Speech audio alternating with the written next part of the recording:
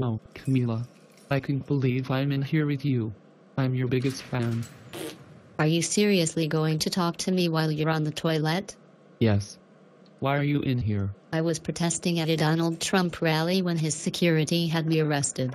Why would you do that? Trump is going to make America great again. Oh, I don't know. Maybe it's because I'm half Mexican, half Cuban, and an immigrant. I don't get it. Trump is going to make America great again.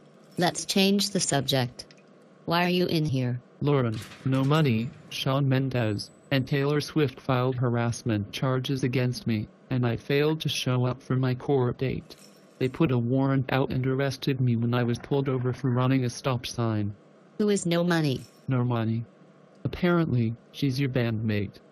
I never noticed her until I saw Lauren cheating on you with her. Don't call her that. And Lauren is not my girlfriend.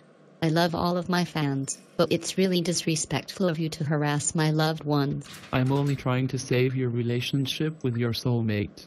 It's the greatest love story of all time. If you want to help me save one of my relationships, you can help me get Normani back.